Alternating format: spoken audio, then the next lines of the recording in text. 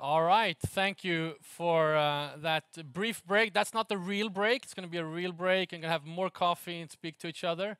Uh, I just wanna make sure everyone was uh, mic'd up here. Um, producer Conrad is switching slides. Yeah, there we go. Um, we try to be relaxed, laid back here. Um, I wanted to start, you know, after having spoken to to Sophie, uh, we need to start speaking about legislation. Let's do the heavy stuff first. Everyone has coffee now. Let's let's dive into it. And of course, start with the most Nordic panel today. Uh, we have uh, Sweden, Finland, and Denmark represented, which is great. We have Emilia Gädda, uh, Chief Advisory for Sustainability and Circular Economy for Finnish Textile and Fashion, Jenny Wärn, Director of Product Operations of TrusTrace, and Julian Hötzel, Co-founder of Momentum. Let's give them a round of applause.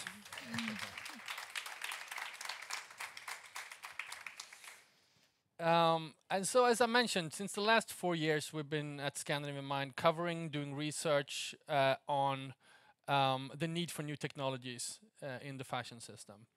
I think it was a couple of years ago, two and a half years ago, I started to get hear murmurs, whispers about there's something happening in the EU. There's new legislation. There's new rules, regulations coming. There's an avalanche. There's a tsunami. There's all these different words people use to describe this. At first, it was just like, "There's something happening," and I tried to start to speak with people in the EU, see if I can understand what was happening. Um, and last year at Transformation Conference, uh, both in in Helsinki and in Stockholm, we had uh, Mauro Scalia from from Euratex. He came and did uh, a session on on what was happening. And I think it was an eye-opener for many people in the industry, definitely for people present. But since then, when I speak to the industry, this is something that, that is um, either exciting or really nerve-wracking for people in the industry. And we're gonna try to get a bit of an understanding of what this is.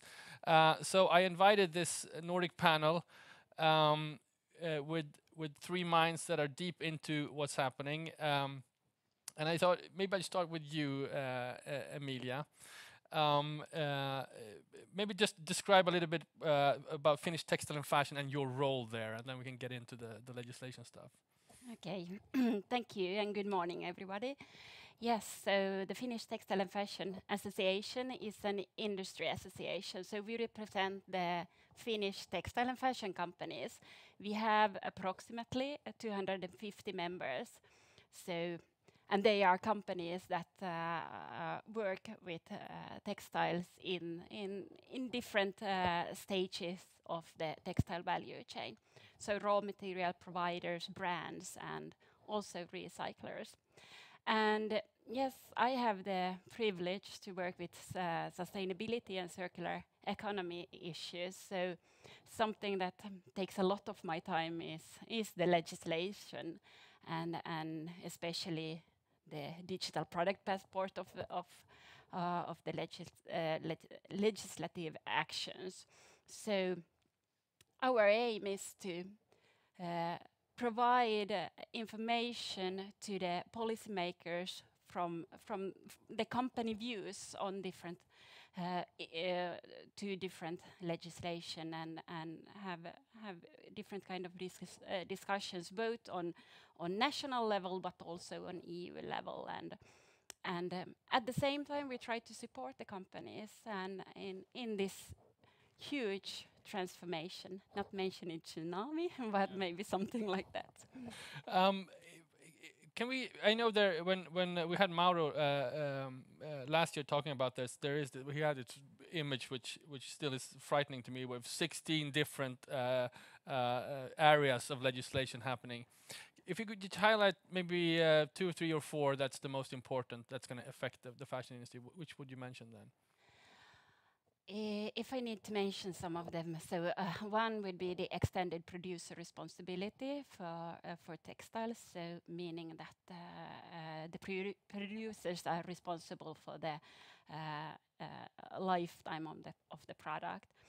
And then probably going to marketing issues and talking about green claims, what you can what you can uh, say about your product or services or whatever you, you provide. That's a huge part. But maybe the most important is the eco design regulation, including digital product passport and also public procurement. Mm. I would say the, the main is, is, is the eco design we're going to get get into that, and uh, I also invited two people working uh, with uh, different solutions to help solve this for for the industry. But before I move on from from you, Emilia, when you interact with industry in Finland uh, and and speaking to your member companies.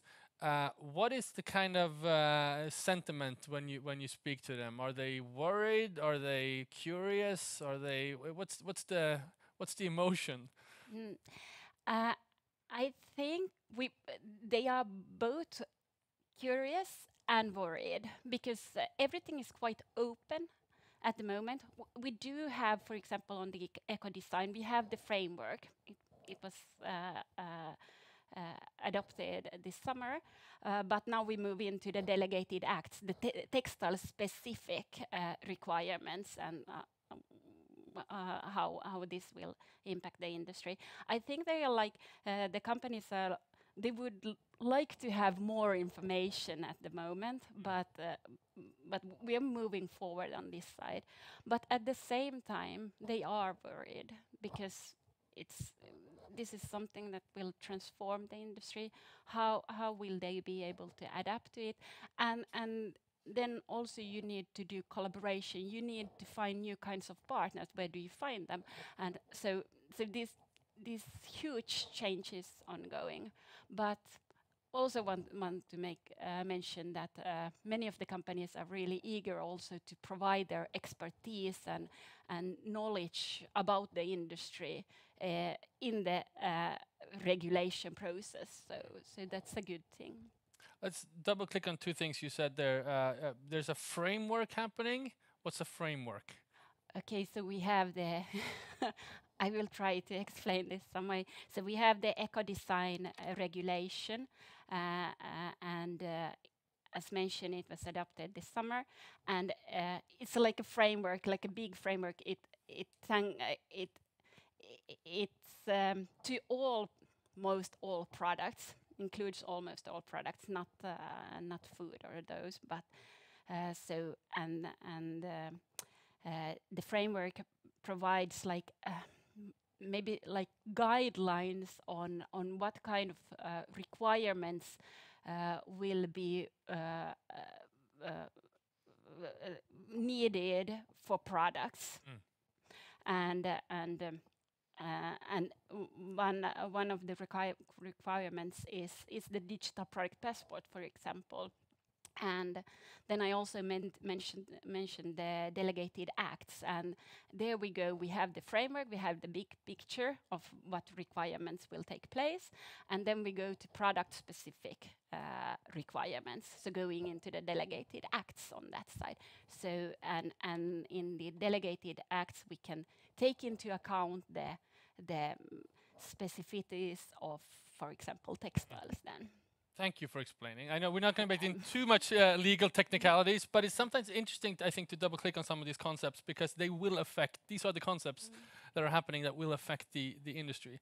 Um, speaking of, of, of DPP, uh, uh, if you have followed our podcast, you've heard Jenny Wärn speak uh, earlier this year or, or last year about a pilot project of, of DPP that you are, are running in in Sweden. Um, maybe you can describe uh, yourself and your role, and we can get into talking a little bit about that pilot. Yeah, thank you, Konrad. Um, yeah, so I'm Jenny Wärn, and I'm working for TrusTrace, and our core is that we have solutions that help brands uh, discover their supply chains with intention to be compliant, manage risk, and especially then make an impact, change and improve towards sustainability and preferably circularity. So that's the core. Um, but what we started off two years from now was a pilot within DPP together with Marimekko and Kappahl. This was super interesting um, because what we did was not only sort of setting up the end result as, an, as a consumer application for the consumer to, to view, but also a little bit to, to build on what you explained, what is DPP? it's both a system outlining, okay, so how should the data flow? How should be accessible? Who should access it? Because it is not only, you know, sending a spreadsheet to somewhere, but how can we exchange this data? And for this shirt, this shirt will own the data, not the brand that was producing this one. And we are looking towards, you know, all these regulations is coming for a reason. We will go to sustainability, we will go to circularity. So how do we build an IT framework to make this work? And then on top of that, we have sort of the DPP data. What information of this shirt should be included in this DPP and what should be shared to whom? To consumer to some, uh, some, some information and to authorities other information. So to, uh, uh, I'm sorry if I dumbing it down uh, super simple, but in the future, EU will require that you scan a garment and get up information about this garment and its history and its materials and so forth. And that's the digital product passport. Am Indeed, I right? yeah. In, cool. in very simplified, that's the Yeah, thing. yeah. From a consumer view, but we also have an authority view that because the authorities would like to be more in control of what's entering Europe and what's potentially also leaving Europe Mm. as landfills or whatever. Because in the SPR, we also have the waste directive. So there is there is a need for data, and to be able to scale it, it's very easy to say, well, I can do this for three styles and so on. Then you can use spreadsheets. But how do you scale this when you have thousands of styles in a season? Then you need data. Otherwise, you need so many people, and things will the data will be incorrect. You need the IT as well. You, kn- you know, I mean, scaling. That's that's why we need uh, to to figure out in collaboration between fashion industry and IT industry. Right. And uh, before I let Julian in, uh, but just talk a little bit about the, you know, this pilot project is kind of about interpreting and guessing what's going to happen from a legislative side. It's not really clear, it's especially, especially, especially when you started two years ago. It wasn't clear what w- how this would end up. So you did some kind of guesswork, but I'm curious if you can just describe a little bit uh, what the process looks like when you do research on the upcoming regulations. Where do you find information? Where do you do the research? Where do you where do you what documents do you read to to learn about this? So within TrusTrace, we have uh, we are not we are a still a, a small company, but we have a few people, uh, including myself, that are doing a lot of research within sustainability. It's basically read what's coming out of the EU Commission, what's coming out of the EU Parliament, talk about talk with other initiatives because it's collaboration for a- across the full industry. So it's reading, it's following up, it's it's being involved in these different initiatives across countries. Uh, various we have policy hub as, as one driver in this as well. So reading, staying on top of it, and also from TrusTrace point of view, merging with our knowledge in. Okay, so what do we see coming? You know, we have ESPR, and and what's really coming soon? It's EU DR, the deforestation regulation and we can see this trend the kind of data is actually the same you know it's it's quite basic to start with. It's sort of map your supply chain. What's the facilities located? How do you drive that din- down into the different tiers? What's the material composition? So yes we can make it complex but we can very much start simple. Mm, mm. it just know the basics. Start there and you'll come a long way. Um, I don't think there's a, a, a coincidence that, that when we're talking legislation, I don't have a fashion brand up here, and and I think actually this is a, a kind of an issue in the industry where the knowledge about these regulations uh, are are not sitting on the brand side, and and I think we can discuss why that is. I think brands uh, historically don't have uh, they don't invest in that type of, of competence also could be quite overwhelming to just keep track of it and we have an industry organization and then to kind of tech suppliers that is obviously in your interest to to understand this because uh, of your solutions um, Julian, you are a, a, a uh, your company, you're kind of a colleague to TrusTrace. You would say competitor. I don't know how you want to define yourself, but maybe uh, I'm I'm curious to have your t- friends Exactly. um, that we're all friends here. Um, talk about how you address this, and maybe just describe yourself and your, and your solution first. Uh, Yeah, sure. Uh, thanks very much, and good morning, everyone. Um, so I'm Julian. I'm the uh, CEO and co-founder of Momentum, and we are an EU digital product passport enabler for fashion brands and suppliers, and we do uh, supply chain traceability and also life cycle assessments. So um, kind of similar what also TrusTrace is doing, but we started off differently. So we started off, off as a brand. Um, so we were a circular sports brand before because we wanted to understand that we have actually access to all the suppliers. So from tier one down to tier four to the raw materials to final assembly. And then we actually got all of the information and we produced the products. And we realized that was in 2022 and realized hmm, maybe we could apply that to all brands and suppliers because there's an upcoming regulation, EU Digital Product Passport. And that's then what we did. Right. Uh, There's a, uh, a fascinating journey, I, I think. Um, how how do you stay updated? Uh, wh- wh- What do you do within your uh, in your own daily life and maybe your team? Talk about how you stay updated on, on these regulations. we follow competitive friends like. No, um, no, we have um, we have um, a consortium, or rather, like what we follow up on is CIRPASS. It's a consortium from the from the European Commission that is um, basically like a group that defines like the roles and the responsibilities and uh, yeah, what information actually should be entailed in the EU Digital Product Passport that is then being imposed in 2028 and they're doing that from 2024 to 2026 now until like the first Declaration Act uh, one comes into place. I think it's Q1 2026. Um, and then um, we in close contact to these people and ask them, of course. And then sometimes we also do research. We talk to brands. Hey, have you maybe heard about something else?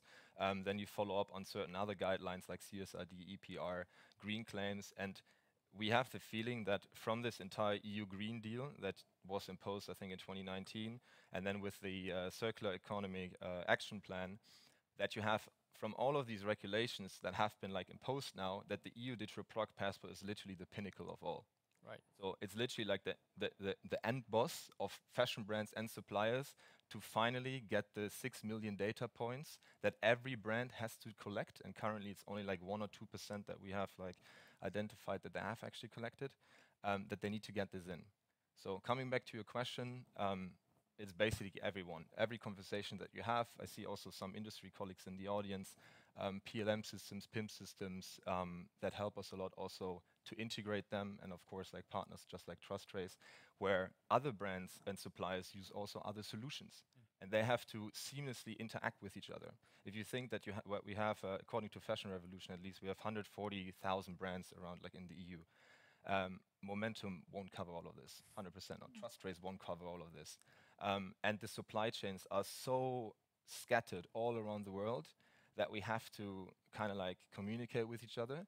And that's why we learn from each other as well. Right, right. Talk about the. Uh, what's your impressions when interacting uh, with the brands? I'm guessing both you, Jenny, and Julian, when you, you interact with brands that are kind of proactive and want to do something, but what is the kind of sentiment when you speak to them? Are they are they worried? Are they excited?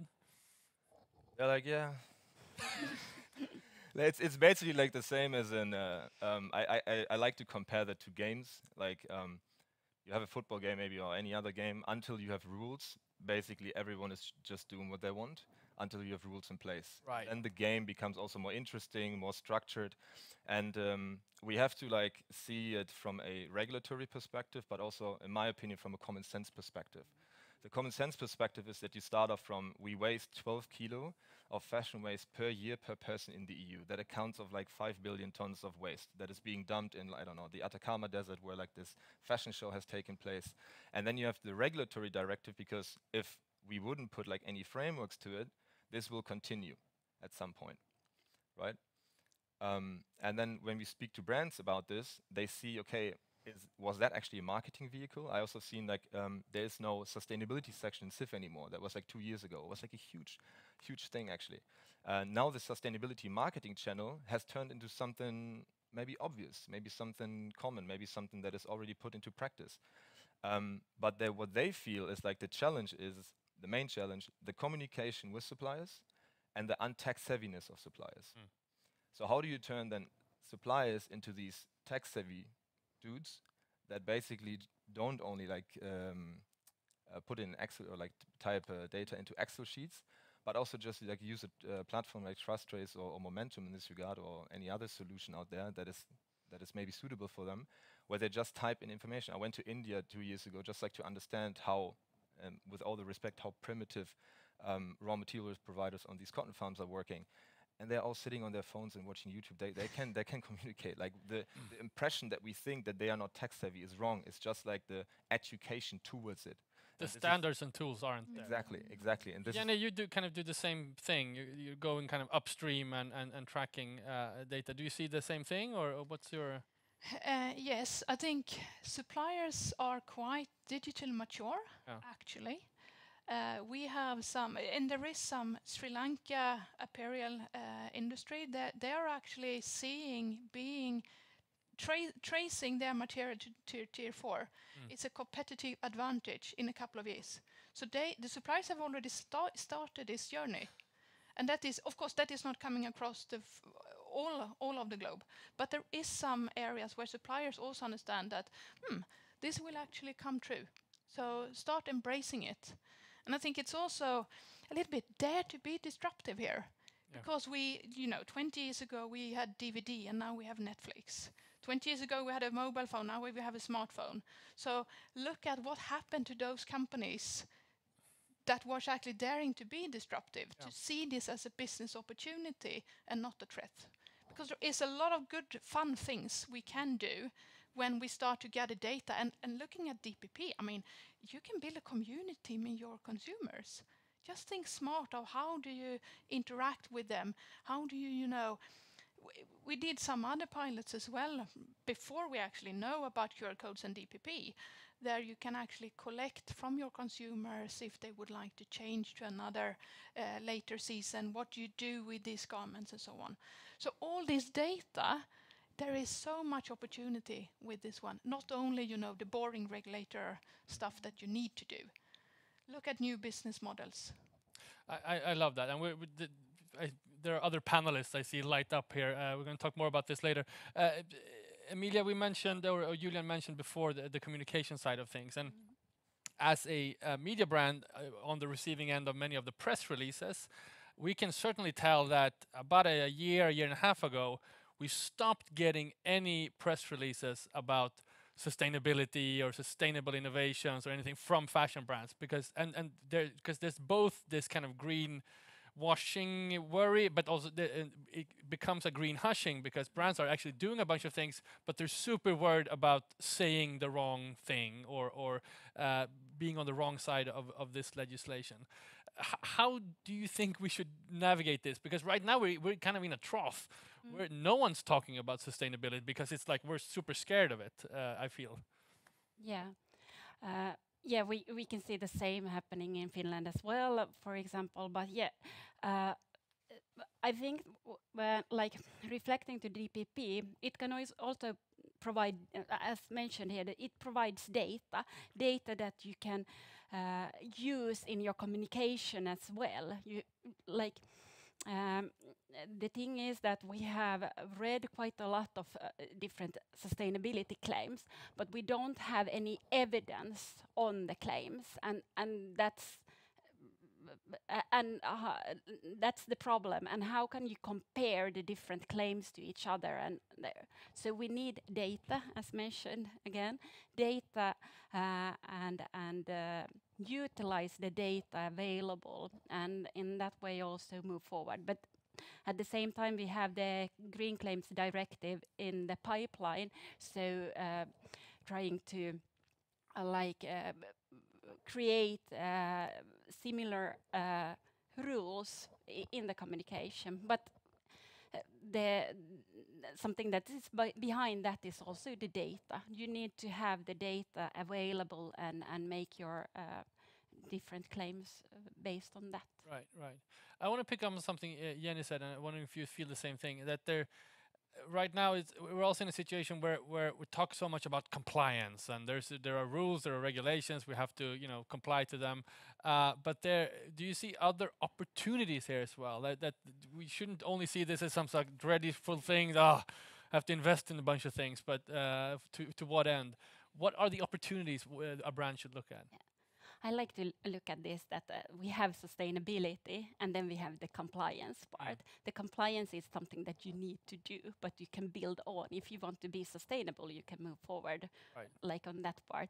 And and there also we will have, for example, the DPP. We will have the uh, requirements that should be uh, uh, uh, according to the legislation, but there's different kind of kind of data also ava- available that you can collect and utilize and then like uh, uh, make business plans based on that one. So uh, um, even though it's a, a huge transformation, you you should look at it as an opportunity as well, because when you have data, you can be uh, make data-driven uh, decisions, and uh, and uh, as mentioned, you can communities make use of the data that you have make have a conversation with your customers through digital means and and these kinds of opportunities there are I, I think there's a huge amount of them i don't know what tho- those are but there's a huge amount of